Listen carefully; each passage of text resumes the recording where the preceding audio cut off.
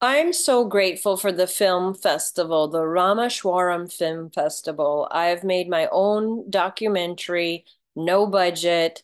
Everybody volunteered. It took a year and a half to get it done.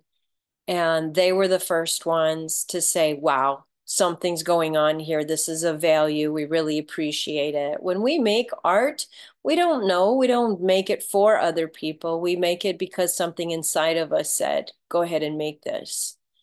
When the film festival said, yes, this is something of value, it's very touching to my heart to know that my message is heard and valued.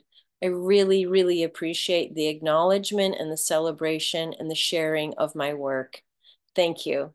Thank you. Thank you.